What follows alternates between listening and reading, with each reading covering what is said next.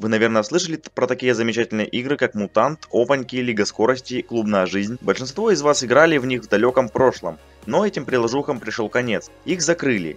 Вся ностальгия убивается за несколько мгновений. Вспомните, как вы раньше играли в эти игры, и теперь их нигде не найдете. Признаюсь, честно, раньше, когда мне было лет 10, я играл в эти игры с утра до вечера в летние каникулы, а теперь давайте перейдем к топам игр своего старого и доброго прошлого. Ну, а перед показом топов подпишись на мой канал и поставь колокольчик, ведь это очень важно для меня. Итак, я снова приветствую вас на моем канале Артем Б, и я решил снять топ-5 игр, в которые мы играли в детстве. Итак, мы начинаем.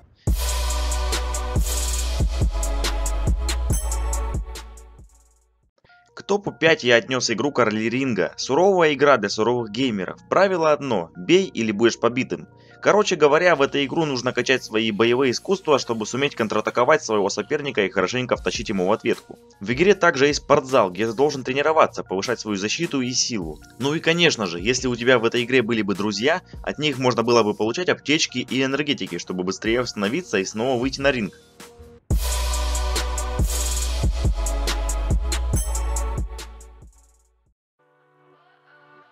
Одна из самых популярных гоночных игр в социальных сетях, Одноклассники и ВКонтакте. Особую любовь игра приобрела из-за своего формата.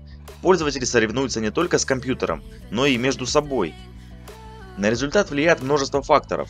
Начиная с какой-нибудь лады девятки, ты можешь накапливать бабки, выигрывая реальных людей и покупать более новые модели машин, заканчивая гоночной и спорткаром. На результат влияет множество факторов. Начиная с какой-нибудь лады девятки, ты можешь накапливать бабки, выигрывая реальных людей и покупать более новые модели машин, заканчивая гоночной машиной Bugatti Veyron. Плюсы в этой игре существуют. Можно настраивать свою КПП, тем самым выигрывая на своей машине соперников как на 402 метра, так и на 804. В этой игре, правда, только две дистанции, и правильно подобраны машины для разных дистанций. Между машинами, переходя все более к новой и новой машине, идет плавный переход от старых все более к новой и новой машине. Сейчас эту игру попортили, раньше было намного удобнее и интереснее в нее играть.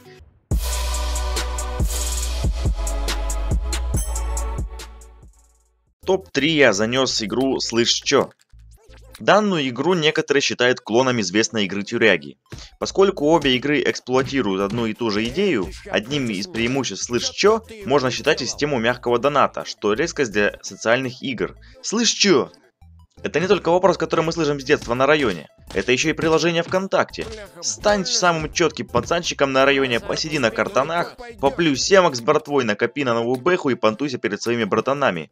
Четкая игра была в свое время, но на данный момент эта игра не работает, так как ВКонтакте больше не поддерживает флешплеер. Жаль, конечно, очень обидно, но мы не останавливаемся и переходим к топу 2.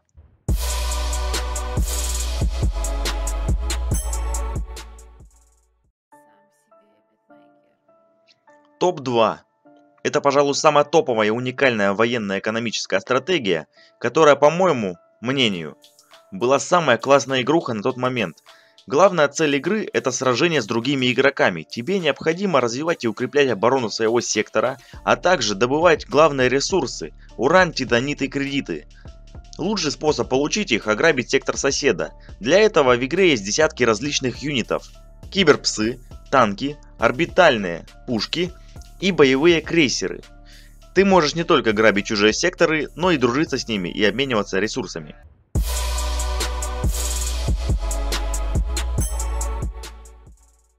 Топ-1. Зомби-ферма. Многопользовательская браузерная игра, которая была создана белорусской компанией Visor Interactive. Главный герой игры – дружелюбный зомби, который хочет стать человеком. Но достичь этой цели непросто. Для начала надо хотя бы выбраться с острова, на котором он заточен уже многие годы. К счастью, у персонажа есть верные помощники, местное племя зомби, избравших его своим вождем. Игровой процесс зомби-фермы представляет собой типичную стратегию ферму, в которой вы выращиваете растения, строите различные здания, помогаете друзьям и колдуете над внешностью своего героя. Но есть, конечно же, и некоторые отличия, так как эта игра может похвастать не очень обычным оформлением. Здесь все посвящено теме зомби, загробной жизни и прочих кошмаров, но при этом выполнено довольно мило и невинно, так что ночные кошмары вам не грозят. Важное заявление. Полгода назад в официальной группе зомби-фермы разработчики заявили, что у игры испортился баланс.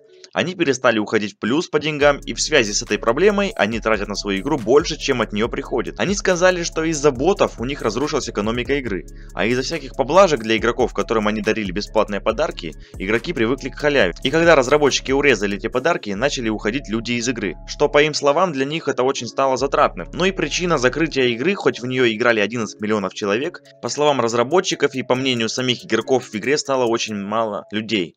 Это нехватка игроков. Теперь приложение висит на ниточке.